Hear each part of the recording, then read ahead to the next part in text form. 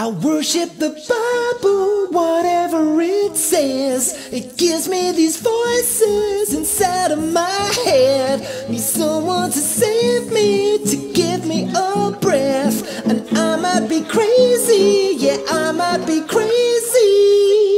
I'm just a dude with a dirty little website. Asking questions, trying to get a bitch to bite. Never contrite, arguing that black is white. Being cute with my refuting, spitting verbal pollution. How do you know that you're absolutely now? Are you absolutely certain now? Didn't think so. Could you be wrong about that? Sing a song about that. Hammer time is the crucifixion of your contradiction. All I wanna be is the Bruce Lee, logically get everyone else on the motherfucking knee, sucking my dick while I push up to the front. So now I get a challenge from Matt Dillahunty.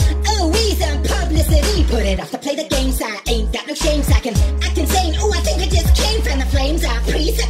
shit, take it, bitch. I worship the Bible, whatever it says. It gives me these voices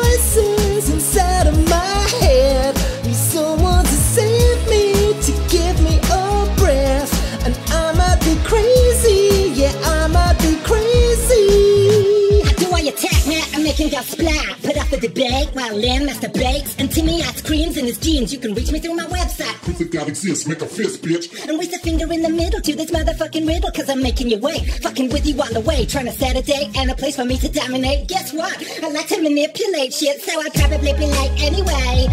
Just to complicate, conflate, frustrate, irritate, whatever it takes. I always claim to repudiate. Motherfucker. So if you see him out, tell him that he ain't on my level. I'm the big fish, and he's sucking on my fish stick. Satan is the big gun in need of attention. Must have oxygen like G-Man because.